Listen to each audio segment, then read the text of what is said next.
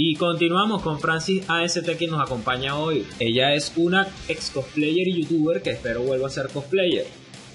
Cuéntame, ¿cuál fue el último evento al que asististe? El último evento anime o de cosplay o de youtubers. Bueno, el último evento de anime fue el Avalancha, el último Avalancha que sucedió en el 2013. Luego de eso, Avalancha, Avalancha se tuvo que ir del país por problemas personales que tenían con, con los integrantes del evento algunos problemas que se salieron de control y bueno, todo eso era un, un caso. Hasta un video hay en YouTube sobre el, el dueño de Avalancha haciendo una cita muy fea y así. Este... a mí me parecía que Avalancha era el mejor evento que había aquí en Venezuela y todavía sigo con, es, con esa opinión.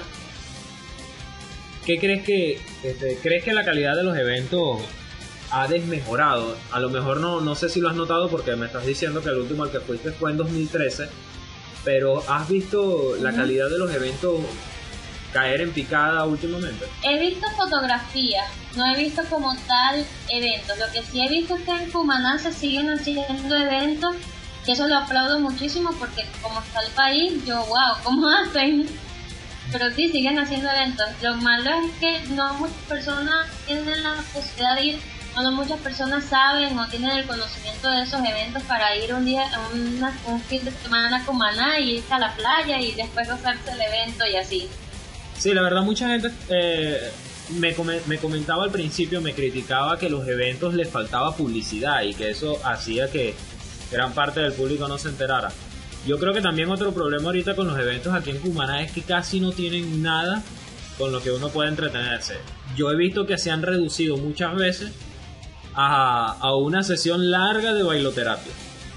Porque la verdad, incluyendo el problema del efectivo, ya la gente no puede ni siquiera jugar los videojuegos, porque no tienen efectivo para ir a jugar los videojuegos. Aquí en Cumaná hay mucho problema con eso de los puntos. Eh, además, la, la cantidad de tiendas en los eventos, una o dos tiendas por evento, y eso la verdad hace que uno tenga muy poco con lo que distraerse. Los cosplayers buenos eran personas de nuestra edad. Y la mayoría de personas de nuestra edad ya se fueron del país. Eso es una gran tristeza en los eventos Pero no quiero darte todo malas noticias. Quiero que si yo hago algo en verdad pueda motivarte a venir. Hablemos un poco más de anime. ¿Qué animes has estado viendo últimamente? En el, el Sakura Card en la nueva, la nueva que sacaron. Sakura Card La voy a, voy a poner el opening para ti en la próxima sección. sí, también en Cutie Honey que es un anime súper viejo, súper, súper viejo, que es de un androide creada por un científico que tiene que, luchar contra unas series de, de malos así estilo estilo Power Rangers. Yo creo, yo creo que los más malos contra los que lucha la pobre chica es contra los sensores de, de Japón porque la censura está terrible. Sí, también estaba hojeando hoy algunos animes que me parecen interesantes y bueno, no te comento los nombres porque yo no, ni siquiera los sé pronunciar. Pero de anime como tal, no sé, el, que sí sabes mi novio que tiene un repertorio completo de animes y de música y yo, wow, tiene mucho. ¿Y, ¿Y, juegos? ¿Eres gamer o no, o, no te metes en eso? No, los únicos juegos que me gustan de verdad es League of Legends y Mario Kart. De allí no, no sé más.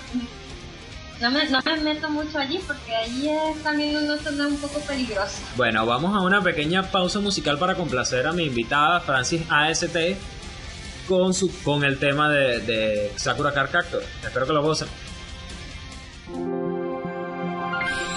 風で